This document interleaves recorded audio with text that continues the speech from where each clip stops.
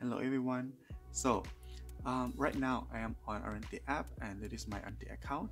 Okay, and these are the cameras that are associated or linked to my account.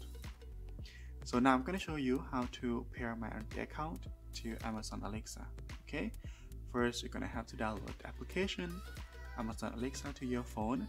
Okay, you're going to have to have um, Amazon account as well. If you don't have yet, you have to sign up for it and then sign in with your account okay on the app. And then you click on more which is in the lower right corner of the screen okay. And then don't click on add a device okay. Click on skills and games. Alright so then go to the search tab type Arenti and then search and click on it. Then click on enable to use.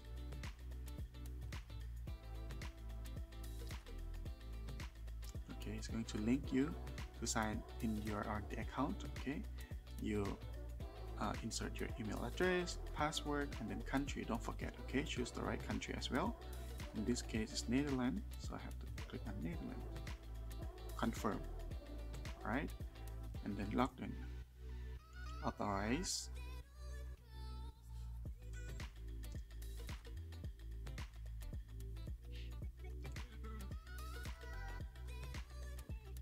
okay your Arenti account has been successfully linked. Click on close.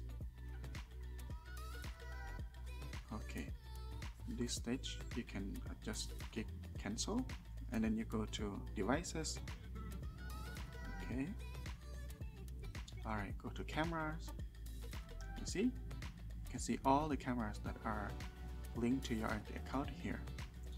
And now, let's try to ask uh, Alexa to show the live streaming video on the screen. Okay? Okay.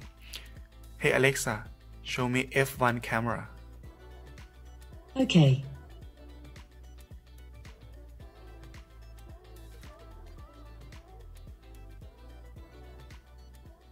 Okay